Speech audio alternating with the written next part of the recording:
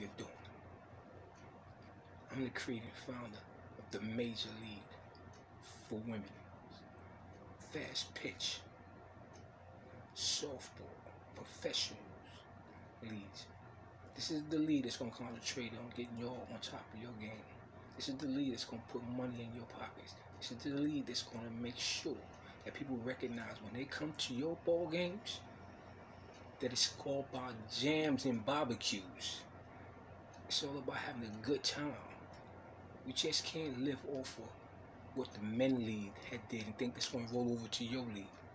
No, we're gonna make our league special. We're gonna make ours unique.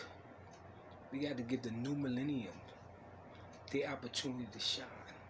Because if anybody else can't do it and make this thing happen, those of us in New Millennium can do it. I'm talking about women in power. I'm talking about businessmen. I'm talking about the minorities on the come up. I'm talking about the hipsters. I'm talking about my hip hop community, them ballers. This is your time to own your own team. Stop acting the old schoolboys to let you in their little clubs. This is your club right here. This is where you started off. Dr. Dre. You out there in California. Get a team, man. We got some boys up here in New York. Jay-Z, he don't got a team, but we got some other dudes out here that get a team. We can get balling. We can get balling. Fat Joe. Listen, we got a team. We know how to do this thing. Let's get this thing popping. It makes our league. We know how to turn it up. We know how to turn it up. Come on, get with me.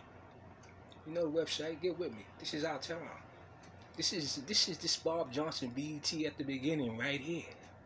All right, let's, let's do what we got to do. This is the beginning. You know how we do. Get at me.